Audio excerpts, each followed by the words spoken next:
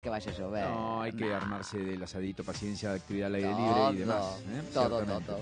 Eh, bueno, eh, en un ratito vamos a hablar de los servicios, parece que todo funciona más o menos normal, pero recuerda lo que está pasando en la autopista 25 de mayo, está todo Sí. colapsado en el ingreso Sí. a la ciudad de Buenos Aires. Sí, sí, sí, tiene que ver con un incidente vial y bueno, ya desde el peaje tenemos esos problemas y el ferrocarril Belgrano Norte que estaba presentando esta, sema- esta mañana demoras y cancelaciones de algunos servicios por problemas En un técnicos. ratito contamos detalle del anuncio que ha hecho la gobernadora Claudia Zamora del bono más alto a pagar por una administración provincial este fin de año. 7 mil pesos de bono anunció la gobernadora de Santiago del Estero, una de las provincias más pobres, llamó la atención a muchos.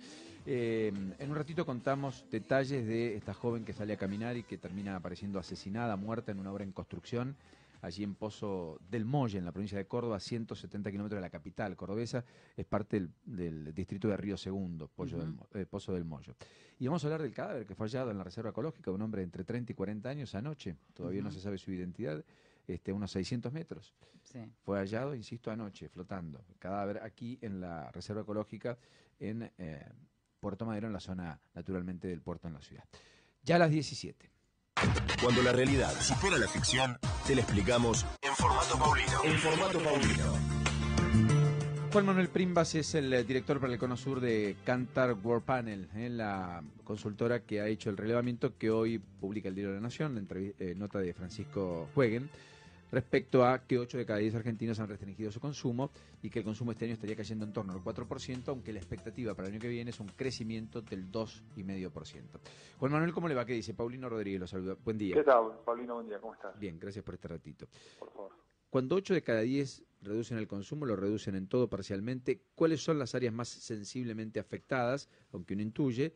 Eh, ¿Y cuál es la merma que ha habido en consumo de alimentos y bebidas, que es lo último que uno deja de consumir en líneas generales? Sí, en realidad nosotros eh, de, lo que estamos hablando es de alimentos, bebidas, cosméticas, de todo lo que es la canasta básica. De canasta básica ¿no? O Eh, sea que acá no hay esparcimiento, ropa, etcétera. No, no, no, en ese eh, es parecido el número de- en, en cuanto a la cantidad de gente que lo, que lo consume, pero, pero las caídas son mayores en todas esas categorías. Nosotros medimos básicamente hace casi 20 años consumo masivo de los hogares argentinos y lo que vemos es en este año una contracción del, del 4% en lo que va del año, lo cual es eh, significativo porque, como decías vos recién, son, es el consumo más básico. O sea, si, el consumo más básico es un 4%, claramente lo que no es tan básico que hay por lo menos está, se está cayendo el doble, ¿no?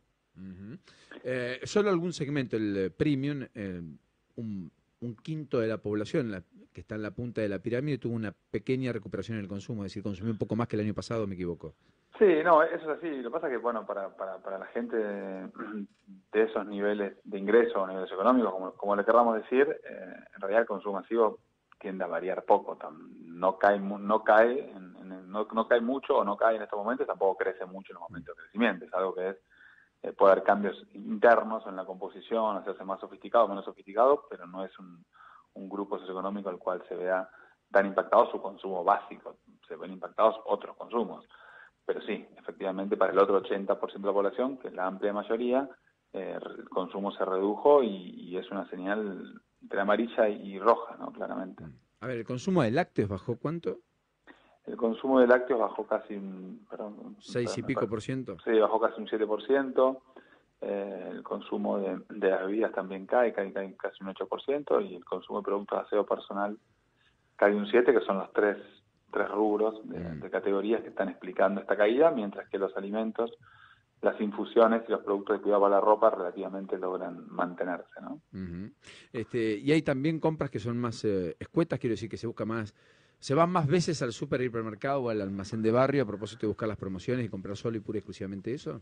Sí, e- ese es tal vez el, el- cambio más significativo del año que nos muestra que, está bien asociado a, momentos de, recesión o de bolsillos muy ajustados, no porque vayan al, al almacén de barrio, pueden ir al supermercado, pueden ir al, supermercado cercanía o a un formato discount o al mayorista, a donde sea que van a comprar, pero las el tamaño de las compras empieza, nos, mu- nos muestra por primera vez una, una reducción y un incremento en la frecuencia. Y este es bien un comportamiento de, de momentos de, de crisis o de, o de, o- o- o de poca o que se va, se, va, se va impactando la capacidad de compra. ¿no?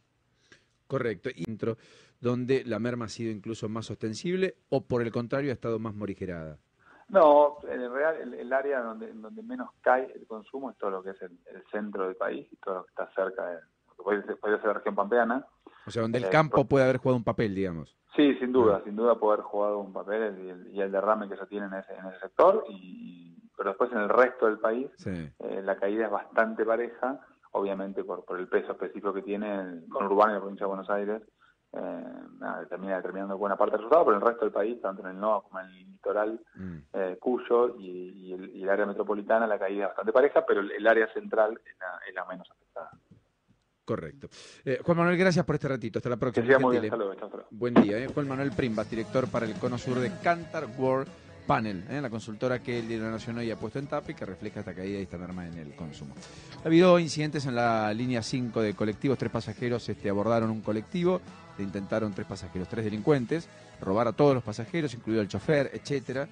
Con lo cual hay paro. No está funcionando la línea 5 de colectivos. Hay un reclamo a propósito de mayor seguridad que a esta altura ya es bastante recurrente. Recuerden que había habido una reunión hace poquito tiempo, la semana pasada, entre Cristian Ritondo, el ministro de Seguridad de la provincia de Buenos Aires, Martino Campo, el ministro de Justicia y Seguridad de la ciudad, Roberto Fernández, el titular de la UTO, la Unión Tranvíos Automotor, para intentar darle forma a la idea de tener mayor seguridad, dispositivos este, especiales, equipos especiales que permitan un control online y además este, más policías.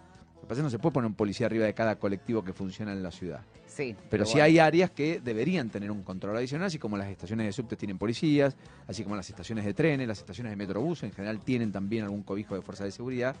El tema es qué hacer con los colectivos.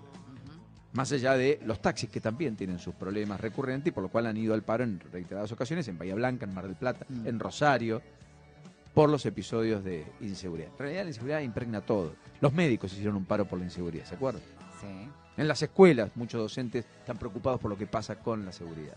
Bueno, este paro comenzó a las 6 de la mañana, eh, ocurrió cuando un grupo de delincuentes ingresó a una unidad de la línea 5 para robar a los pasajeros. Hubo un tiroteo adentro de la unidad. De milagro no pasó nada, ¿no? Puede haber una tragedia. Sí, sí, sí. Definitivamente. Esto une el barrio de Mataderos con Retiro. Están de paro entonces la línea 5. Eh, recordemos que hace pocos días hubo un otro paro de la línea 180 también por un violento asalto a un chofer. Exactamente. Bueno, alguien se paró a cambiar una cubierta, por ejemplo, en San Martín, en el departamento de San Martín, en Mendoza, este, pinchada naturalmente, y allí le roban el auto.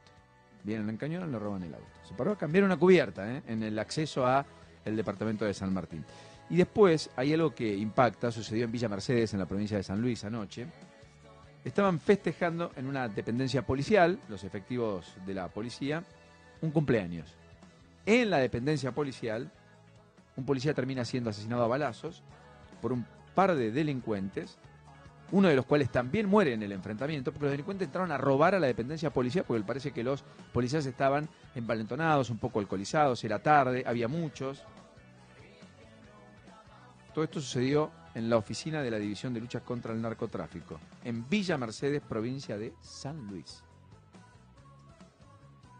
Todo sucedió ayer después de las nueve y media de la noche.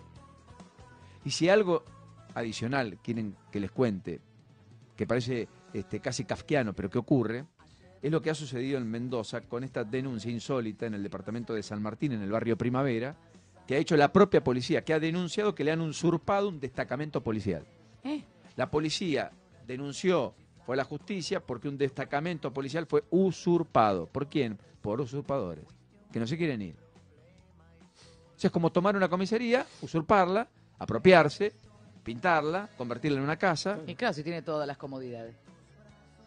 Tiene un montón de habitaciones.